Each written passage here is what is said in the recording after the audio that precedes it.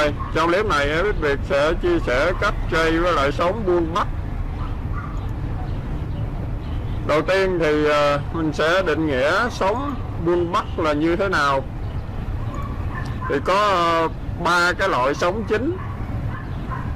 Khi mà thị trường nó đang đi lên Nó sẽ có một cái đợt sóng hồi Rồi sau đó nó phá đỉnh tạo đà tăng đi lên tiếp.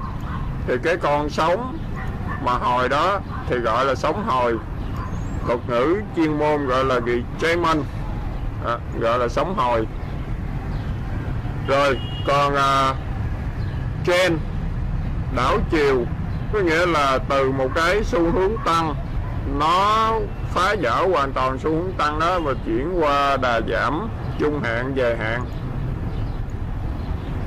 Ví dụ như xu hướng nó đang giảm như thế này à, rồi nó chạm đáy. Rồi sau đó nó đi một cách vững vàng nó đi lên như thế này. Nó gọi là gãy trên. Phá dở từ trên giảm chuyển qua xu hướng tăng. Đó. và cái loại cuối cùng đó là cái loại bull bắt. Đây là một cái thị trường được coi là rất là khắc nghiệt. À, à, dù là đặt top loss vẫn có khả năng bị quét top loss cao nhất khi mà gặp cái dạng địa hình buôn bắc như thế này. Rồi thì buôn bắc là gì? À, khi mà xu hướng nó đi lên như thế này rồi bất ngờ nó tụt lại như thế này rồi nó đi lên như thế này tiếp tục đấy sống như thế này gọi là sống buôn bắc.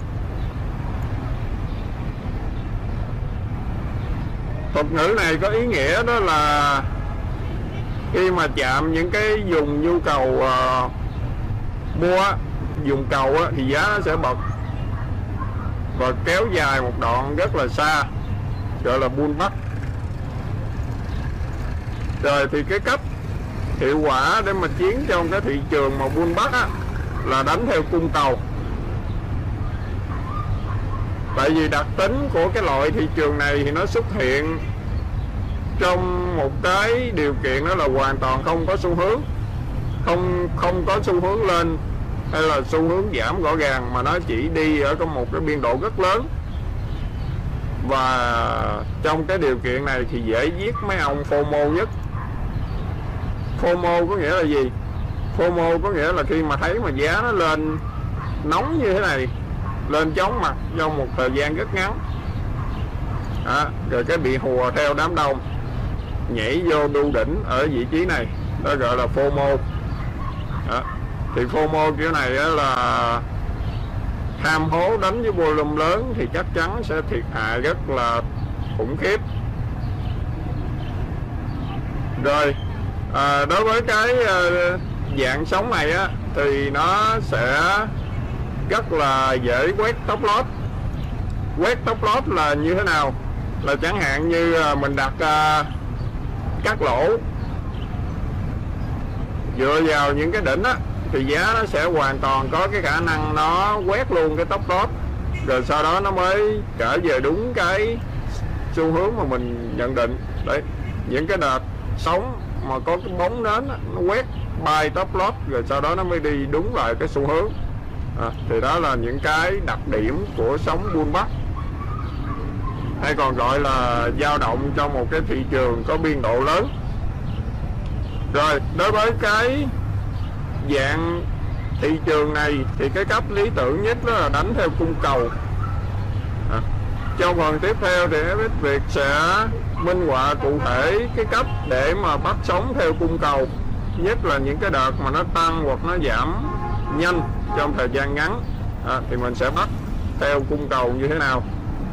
Chúng ta sẽ cùng à, theo dõi trong cái phần tiếp theo. Rồi, trong phần tiếp theo thì chúng ta sẽ cùng áp dụng cái cách mà mình à, phân tích sóng buôn bắc đây là một cái đợt sóng giảm và bây giờ nó đang bật lên từ à, đáy nhọn. Rồi, nhiệm vụ của chúng ta đó là xác định cái vùng mà cung là cái vùng mà bán ra mạnh đó. À, để mà ta vẽ trước rồi đợi giá nó phản ứng tại cái vùng đó. Thì đối với đặc điểm của bull bắc thì có thể đánh hai đầu ăn uh, sóng tăng lẫn sóng giảm. Đây là dùng uh, à, supply có nghĩa là cung cung cấp ra à, đây là cái thuật ngữ chuyên môn để mà thể hiện là tại cái khu vực đó là cá mập nó bán ra với cái volume lớn. Còn đây là cái dùng cầu là nhu cầu á, là nhu cầu mà mua vào á. Đó là cái dùng mà giá nó sẽ bật lên. À. thì khi mà xác định dùng cung cầu rồi thì cái phương pháp phổ biến là chúng ta sẽ đặt cái top lot dựa trên đỉnh của giá à, và điểm vào sẽ là vào ở cái vùng cung. Khi mà chúng ta bắt sóng giảm có thể hình dung cái địa hình mà buôn bắt nó sẽ di chuyển trong một cái biên độ lớn. Và khi đó nó sẽ test qua lại giữa cái vùng cung cầu trong một cái biên độ mà tại đó giá nó sẽ bật. Rồi như chúng ta thấy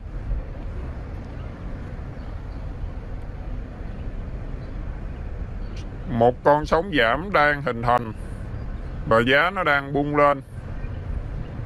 Thì tại cái vị trí này chúng ta cũng xác định được cái dùng cầu là nhu cầu á, đang đẩy lên. Đẩy lên test trở lại cái dùng cung là cái dùng xả hàng. Giờ cũng tương tự chúng ta sẽ xác định được cái dùng cầu và chúng ta sẽ mua ở cái vùng cầu.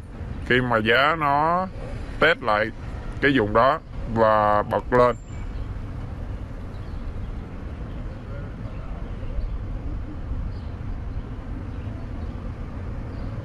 Đối với đánh theo drive action thuần túy, thì cái công cụ phổ biến đó là nến đảo chiều. Chúng ta sẽ dựa vào cái lực của nến đảo chiều để chúng ta tìm cái cơ hội mua vào tại cái vùng à, nhu cầu, là dùng hỗ trợ và chúng ta sẽ xác định top loss và test của Việt dựa trên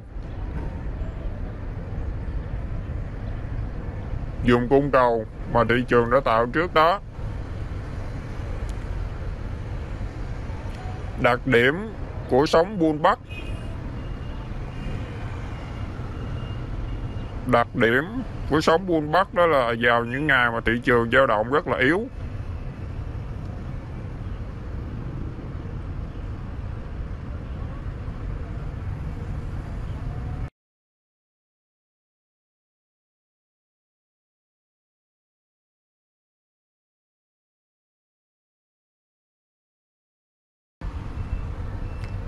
Trong ví dụ tiếp theo, chúng ta sẽ xác định cái dùng cầu dựa vào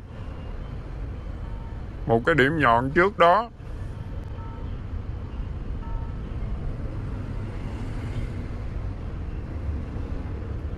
Sử dụng công cụ đường kênh giá ngang và nhiệm vụ là đợi một cái đợt phản ứng tại cái vùng nhu cầu đó để chúng ta tìm cái điểm mua vào. Khi mà giá phản ứng bật lên trở lại, thì đó là cơ hội vào và dễ xác định cái điểm cắt lỗ và chốt lời.